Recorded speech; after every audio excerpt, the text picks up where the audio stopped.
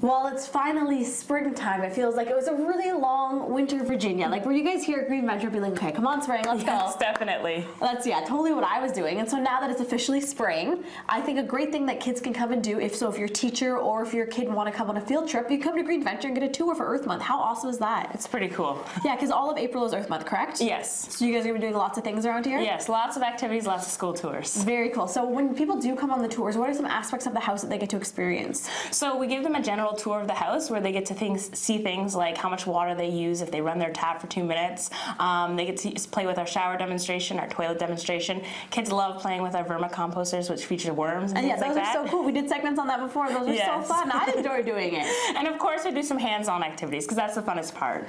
And we're gonna do that today. I get to do a little arts and crafts. So what are we gonna be doing today? So we're actually doing stenciling today. So what we're doing is creating a patch. Um, it's gonna look like these over here. So basically, Cool. um, we take a stencil. Um, we have lots of different options. We have bikes, stars, trees, whichever one you want. I get to, I get to pick one. yeah. I'm gonna go with the birds. How's that? 'Cause I feel like I'd like to see some birds soon.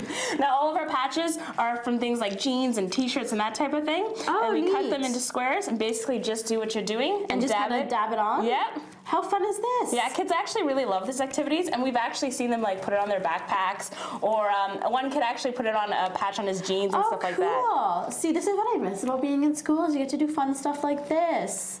That's awesome. And I get to do the other guys still, right? Yep, you can do a different color. And so, and this would for, be for different age groups, right? Yeah, so all of our tours have different themes and different age groups. Um, this one is basically our grade four and grade five activities that we can do with them. See, I'm 25 and I still want to do this. This looks like it's so much fun. But yeah, this is one of our most popular activities. All so- right, we ready? See the moment of truth? How cool is that? You did pretty good. I did pretty good. No, not a big deal, guys. I do really well in arts and crafts. It's kind of my thing. Didn't want to brag. But how fun is this? So kids get to take this home and it's like a little reminder of what they learned here at Green Venture. Exactly.